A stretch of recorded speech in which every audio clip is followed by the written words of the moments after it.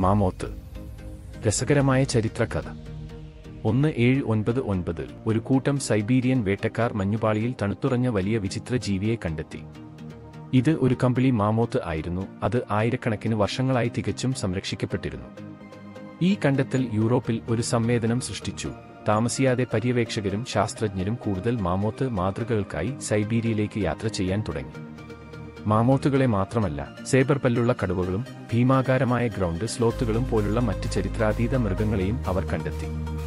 ഈ പുരാതന മൃഗങ്ങളെക്കുറിച്ചുള്ള പഠനം ചരിത്രാതീത കാലത്തെക്കുറിച്ചുള്ള നമ്മുടെ ഗ്രാഹ്യത്തിൽ വിപ്ലവം സൃഷ്ടിക്കുകയും ഹിമയുഗത്തിലെ ജീവിതം എങ്ങനെയായിരുന്നുവെന്ന് ശാസ്ത്രജ്ഞരെ സഹായിക്കുകയും ചെയ്തു. ഇത് മാമോത്ത് ഫോസിലുകളും ആനക്കൊമ്പുകളും ശേഖരിക്കുന്നതിനുള്ള ഒരു ഭ്രാന്തിന് കാരണമായി ഇത് ആനക്കൊമ്പ് വ്യാപാരത്തിൽ കുതിച്ചുചാട്ടത്തിന് കാരണമായി. ഇന്ന് സൈബീരിയയിലും ലോകത്തിന്റെ മറ്റു ഭാഗങ്ങളിലും മാമോത്ത് ഫോസിലുകൾ കണ്ടെത്തുന്നത് തുടരുന്നു. ഇത് ശാസ്ത്രജ്ഞർക്ക് നമ്മുടെ ഗ്രഹത്തിന്റെ സ്വാഭാവിക ചരിത്രത്തെക്കുറിച്ച് വിലയേറിയ ഉൾക്കാഴ്ചകൾ നൽകുന്നു.